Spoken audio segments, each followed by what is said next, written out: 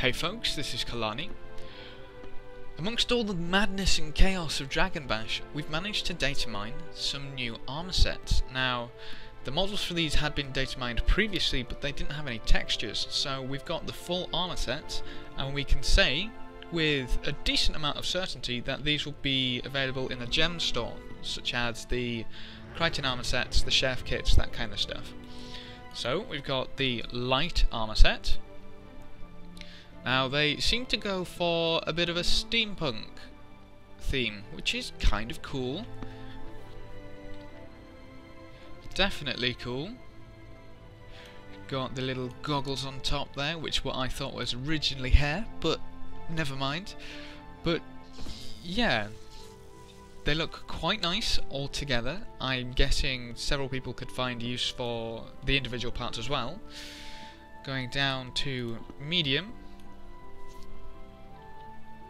a nice aviator cap there.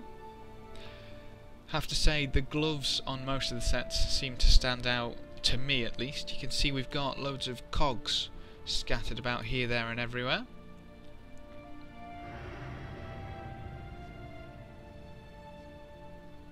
Kind of nice, kind of nice. And then we've got the heavy set, which to me looks a bit ridiculous, but never mind. I'm sure some of you will enjoy this.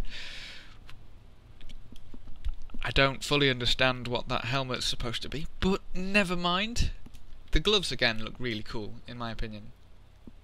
I'm sure quite a few folk could use those for various different armor armor themes, but got a nice huge cog on the shoulder there. Quite dangerous. Someone might get decapitated off that one.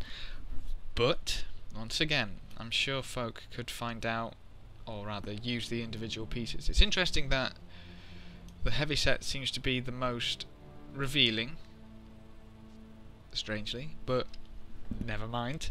So once again, I'm guessing these will be available in a gem store, probably for a similar amount, probably between 500 and 800 gems, maybe, it could go that high.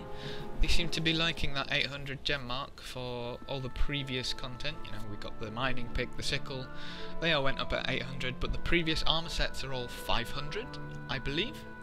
So, I don't know, could be between there.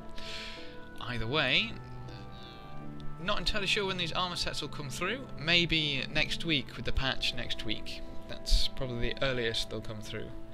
So yeah, steampunk armor sets. At least we're getting new armor skins. This is what I'm most excited about. Who knows what comes next. Thanks for watching folks, good luck and have fun, and as always, I will see you next time.